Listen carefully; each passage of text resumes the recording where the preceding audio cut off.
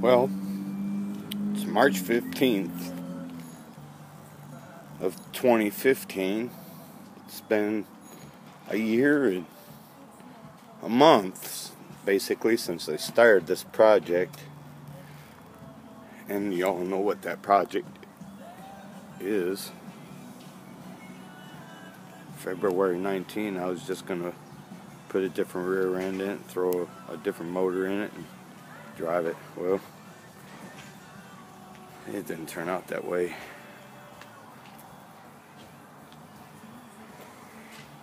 As you can see, she's put together and uh, I love it. I think she's a sweet little ride. I haven't even driven it yet. Anybody that's been around me knows I got countless hours in this thing. But she is going to be bad A for sure. Just like the song that's coming on. Let's go open the door. Oh, I can't open the door. Let me let me reach inside here. Oh, got little door poppers right there. Only way you're going to get in this thing is if you have a key through that keyhole that you saw on the door. I got it rigged up. You turn it, pops the door.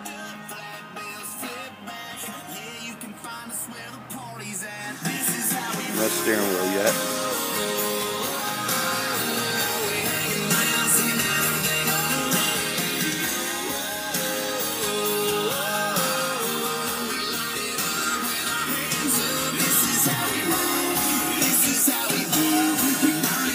Well, I'm gonna reach in and turn this down because it's a little loud when you get inside. And where's she at right now? I guess she was only on three or four.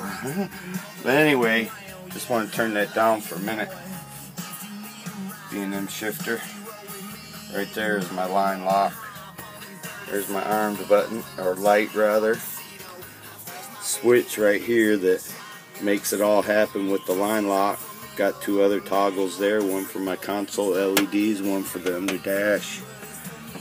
And you can see those under dash LEDs right there. And we come back up the column. Here we got my switches, ignition, fuel pump, electric fans. Bam. Key start, no push button memory tach. Right here's uh, turn signal.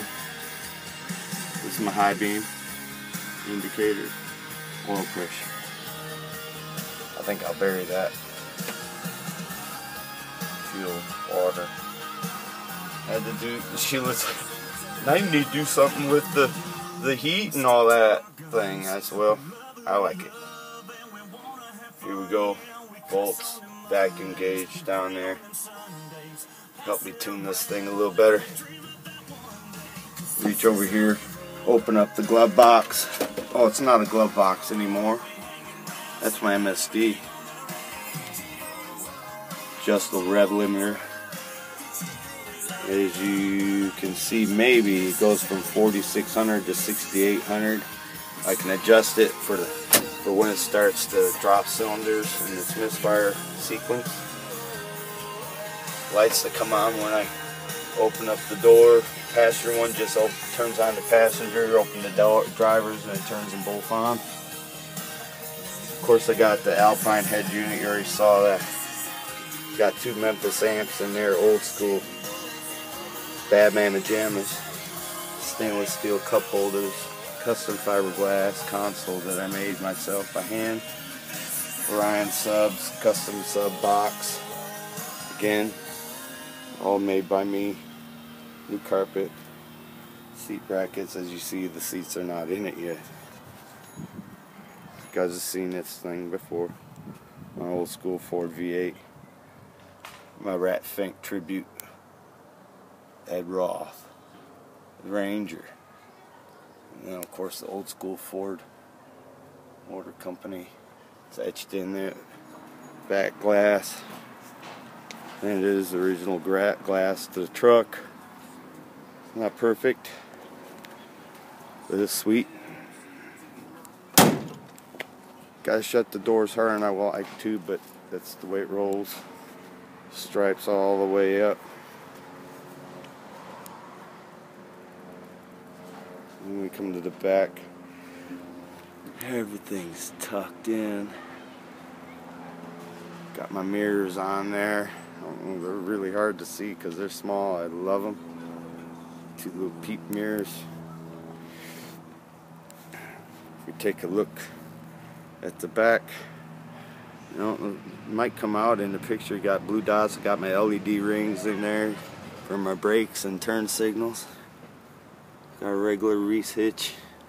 That thing's mountains. Oh, there's plenty of steel there. That thing ain't going nowhere.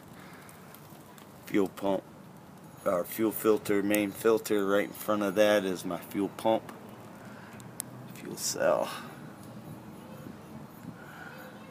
Right there. That's lowered. It's an 8.8 rear end. Got Ford Motorsport, 373 gears in it. It's a Trac-Lok, so it's a locking uh, diff. Got rear sway bar going on. Got energy suspension bushings all the way around it. Um, yeah. My tailgate, as you can tell, extremely close. But I can stand on this and do whatever I want on this tailgate and it doesn't touch. So, job well done. I did not plan for that, but that's how it turned out. I was very relieved. Hold downs. I didn't do anything with this bed. That's one thing about this truck. Anybody knows me again. It's a truck. This truck ain't perfect, but it is mine. Dual batteries. There's my battery isolator. And dual batteries down in there. Got my trailer wiring. Right through here is my uh, relay for my fuel pump. Probably might even be able to get a glimpse of it underneath there. I'm not sure. We shut that door and we open up this door and there's my fuel. Here's how I put fuel in this bad boy. Didn't take plenty of it. Rollover vent. Yeah, again rocking the blue blue dots. Everything's sweet.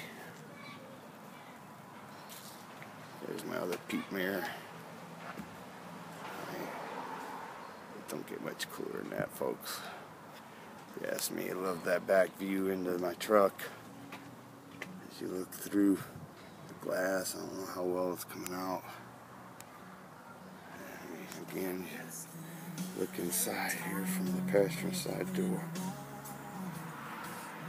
Sweet, sweet, sweet. Probably one of the best names that I ever known in my life right That's my girl. Can't wait for that start up. Told her the other day, I said, you know you're going to go for the first ride. So girl.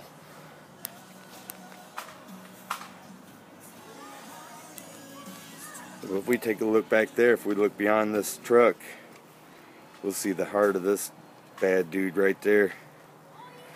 She's gonna be a bad dude too. Well, she, I don't know if she's gonna be a she or he, but uh, I know one thing's for sure: it's gonna have an attitude. All right, 351 Windsor, punch 30 over. Got pro, pro flat tops with valve reliefs, zero deck height, uh, file fit rings, fuel filter regulator, uh, relocation rather, extra, so I can have the extra capacity and cooling for my oil, engine oil, balancer, rocking a cop 9000. Got brand. It is a used unit, but uh, got new steel gear on it. Got my Edelbrock RPM air gap. And then what makes this thing breathe is this bad boy right here. I bought off a dude down in Florida. Been building carburetors for 25 years. Race cars, street street rods, hot rods. Knows them. Thing's all tricked out. It's a Holley 750 um, vacuum secondary. It's got a modified accelerator pump on it, so it looks like a 30cc, but it's actually a 50. It's got racing bowl, uh, racing uh, floats in it. It's got the rear block conversion kit, so I can change the the jets. It's got jet extensions. It's got uh, taller vent tubes on it. Uh, I don't even remember everything of everything that he did to it, but it is going to be a bad boy right there. And I know you keep seeing this uh, very special box back here, and anybody would know uh, that's not a wooden box, but that's the Lunati bootlegger. And uh, basically, this bad boy is uh, 600 lift, 300 duration, hydraulic roller, 107 degrees of lobe separation. This thing is gonna thump like nothing. And you're probably wondering, well, where's the heads? Well, I just ordered them. Bare, but I ordered them. Dart, 215 cc's. The new Iron Eagle Platinums. Things are bad. 2.050 intake, 1.60 exhaust. It's their new design. Yeah. They should be here probably Wednesday. Um, and of course, it's going to go in there.